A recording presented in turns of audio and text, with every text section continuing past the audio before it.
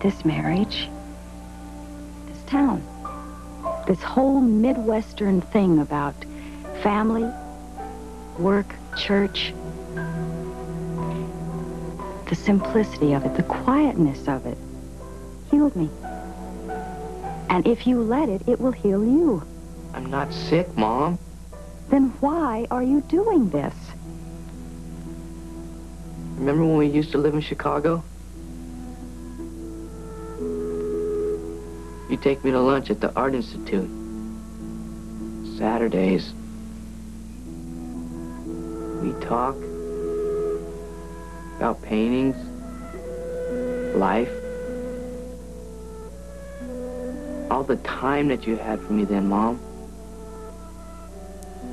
I want it to be like it used to be.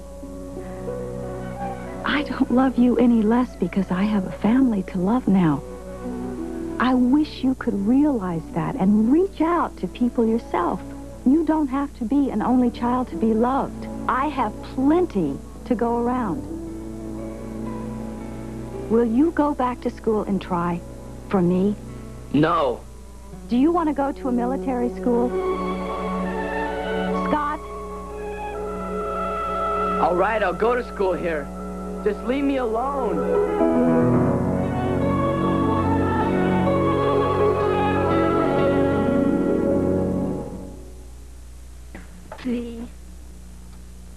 Market's closed. What does that matter now? Eric has to do a dance at school.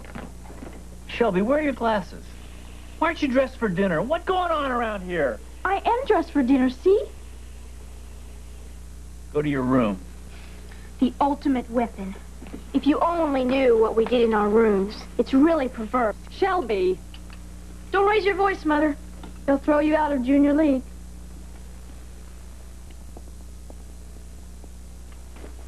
I should go back to school or to work or something. Maybe then you'd value me. I value you. Ann's children value her. She's not there all day, every day. They do their own beds, their own laundry, their own homework. Everybody values each other because she works. And they're happy and well-adjusted, polite, independent. Scott's cut school for three weeks. Daley's went to see the principal today, if that makes you feel any better.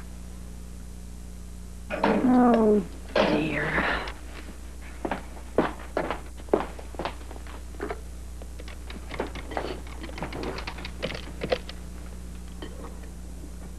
Hi, Ann. Shelby just told me about Scott. Is there anything I can do? You okay? Okay. Well, call me if you need me.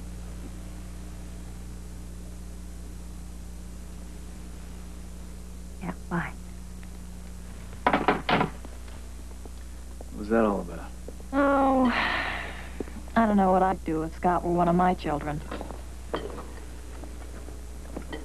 Are we looking at houses again? Not really. Another growth experience? Oh, it's way beyond our price range. I just thought I'd have a look. Did you see it? Yeah. With Joanne? No. Who?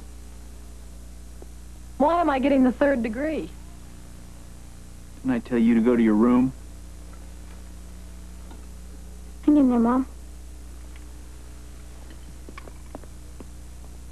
Male or female? Male. It's interesting to me that with all the women selling real estate in this town, you always went a man. Odd, isn't it? But it's not what you're thinking. Listen, don't do this to me, Nancy. You've got a beautiful house and beautiful kids, and you've got a closet full of tennis rackets. And I spent half my life trying to pay for it. What do you want from me? A relationship. Oh, 15 years of marriage doesn't constitute a relationship? What I meant. Yeah. Well, I gotta go to the hospital. A couple of people in intensive care. I need to talk to you. We talk. We're talking right now, aren't we? Like strangers. Like enemies. Do you want a divorce? Is that it? Oh, Nancy, don't be absurd. You know, I'm trying to teach the kids to, uh, recycle things. To fix things, not just to throw things away if they don't work. What does that have to do with anything? Our marriage doesn't seem to be working, I want to try and fix it. I'm not a disposable wife. I... At least I don't want to be a disposable wife. But you have to want to fix it, too. You know, all you ever do to all of us is criticize. I don't even think you realize it.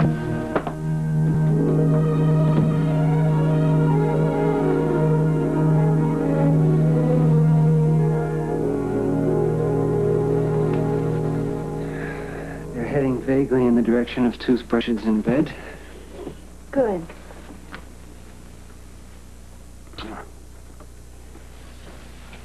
What did Scott say?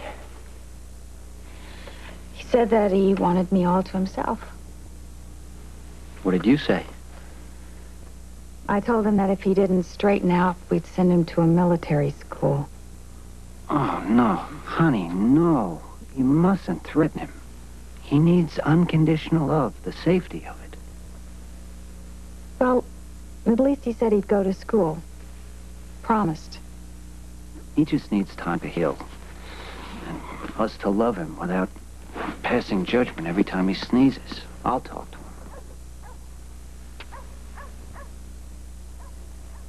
Would you mind if I went to practice the organ?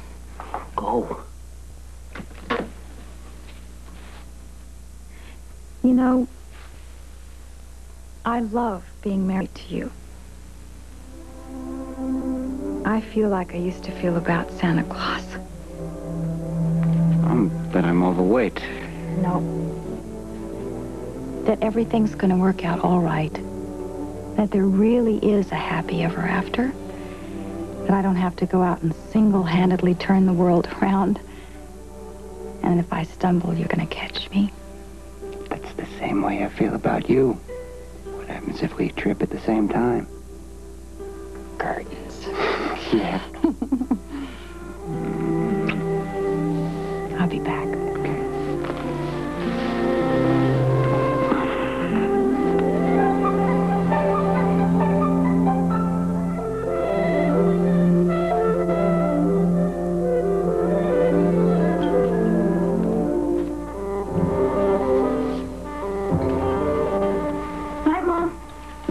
Sweetie. Hey, it's late. You should be asleep. I'm not tired. Where's Daddy? If I should be asleep, he should at least be home. And Daddy will be home when Daddy wants to be home. That's his prerogative. I love those magazine rules. He's at the hospital, Shelby, working. The advantages of tunnel vision. Don't get smart with me, young lady. I wasn't. Do you still love him, Mom? Well, sure I do. Why? Because I do. We grew up in love. You grew up working to put him through med school. Well, growing up means you have to make a few compromises. For everybody. Except Daddy. No, for Daddy most of all. You know, he wanted to be an entertainer, and, and he gave that up and became a doctor so we could have some security. Our marriage meant more to us than our separate dreams. Men? Past tense? Michelle, you know how I feel about trying to fix. Yes, Virginia, the last of the Romantics is alive and well and living in Iowa. Virginia, and she's taking you to bed. Come on, kid. Oh, God, that was so big. Night, Mom.